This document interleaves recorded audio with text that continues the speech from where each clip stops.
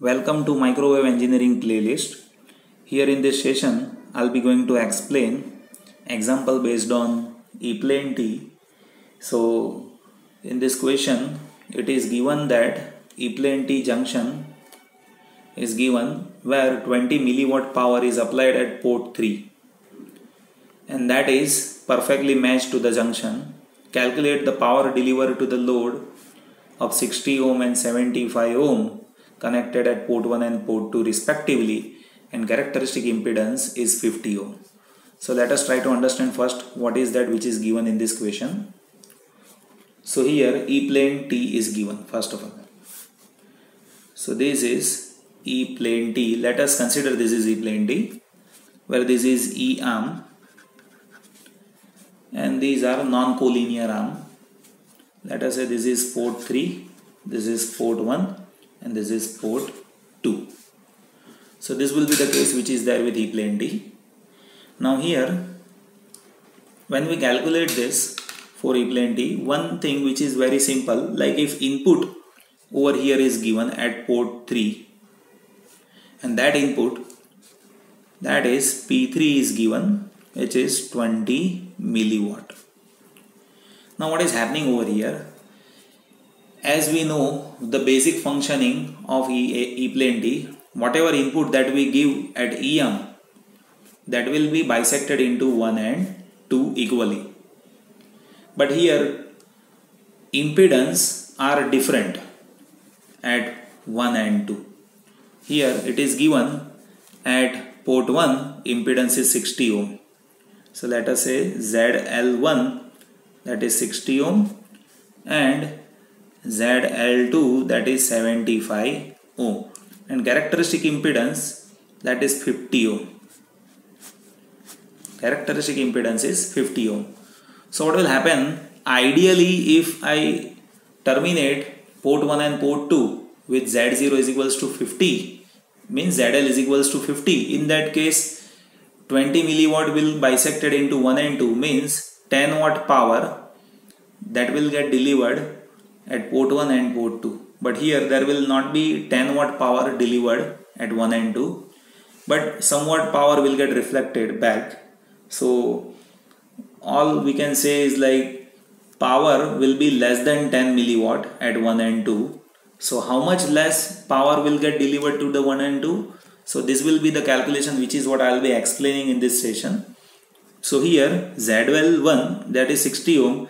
So based on this we can have reflection coefficient at port 1 so let us say it is rho 1 so that will be ZL1 minus Z0 divided by ZL1 plus Z0 so reflection coefficient at port 1 that will be 60 minus 50 here characteristic impedance is 50 divided by 60 plus 50 so this will be 10 divided by 110 so that is 0.09 so reflection coefficient at port 1 that is 0.09 and similarly reflection coefficient at port 2 that will be ZL2 minus Z0 divided by ZL2 plus Z0 so that will be 75 minus 50 divided by 75 plus 50 so 25 by 125 so 0.2 so reflection coefficient at port 2 is 0.2 reflection coefficient at port 1 that is 0.09 and reflection coefficient at port 2 that is 0.2 now power delivered at port 1 that will be somewhat lower than 10 milliwatt why the reason is reflection is happening. So when i want to calculate power delivered at port 1 so port 1 power that will be if i say ideally ideally it is 10 milliwatt so i'm saying like say ideally p ideal into 1 minus reflection coefficient square.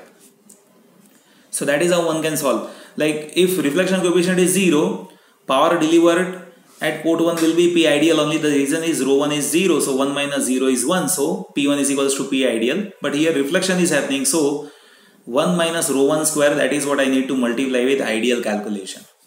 So ultimately ideal is 10 milliwatt into 1 minus 0.09 square.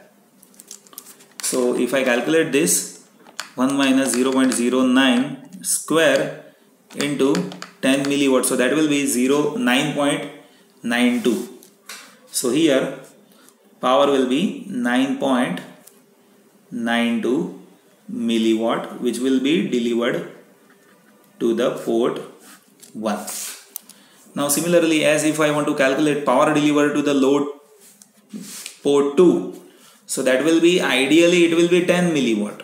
As per P3 is 20 milliwatt but it will be somewhat lower due to reflection and reflection coefficient is 0.2 so power delivered to the load 2 that is P2 which is P ideal into 1 minus rho 2 square and that is actually 10 milliwatt into 1 minus rho 2 square. So if I calculate this then that will be 1 minus 0.2 square into 10 so that will be 9.6 milliwatt. So ultimately power delivered to the load 2 that will be 9.6 milliwatt. So that is what one can see it over here and that is how we can solve this kind of problem. So ultimately when E plane T or H plane T is given to us all we need to do is like see if EM power is given then definitely that power will get divided into 1 and 2 and here, here it is said like port 3 is perfectly matched. But port 1 and port 2 is not perfectly matched to the load. Characteristic impedance is 50 ohm ZL is 6, ZL1 is 60 ZL2 is 75 so it is not matched to 50 it means somewhat reflection will happen and that reflection could be calculated by ZL minus Z0 divided by ZL plus Z0 will be having reflection coefficient and delivered power to the load that will be 1 minus reflection coefficient square into that power and that is how we can have a calculation of power delivered at port 1 and power delivered at port 2. Now in previous session I have shown example based on uh, H plane T where we have been solving uh, H plane T's scattering parameter by having uh, scattering matrix. But in that case if you see power was given at 1 or 2 arm so ultimately in that case solution will be different. But if power is given at port 3 one can directly say it will bisected into 1 and 2 and similar case even happens with E plane T as well as H plane T. So directly one can go like this. So this is what one should understand when somebody is solving example based on E plane T or H plane T. And same thing that we need to focus when we talk about magic T where one thing that should be known to all those who have been solving magic T example where in magic T example port 1 and port 2 is there but other two ports are like EM and HM are there. So isolation that will be given to you at EM and HM and based on isolation we can have isolation coefficient which is port S34 and S43 and rest of the calculation will be same. So rest of the calculation is same only isolation factor which is what given to you in between EM and HM other calculation is same as I am showing it over here. So this is how one can solve example based on E-plane T. Thank you so much for watching this video. If you have any query regarding this, just place that in comment so that I can understand what is that problem which is there in terms of understanding and uh, based on that we can have a discussion to have a solution of your problem. Thank you so much for watching this video.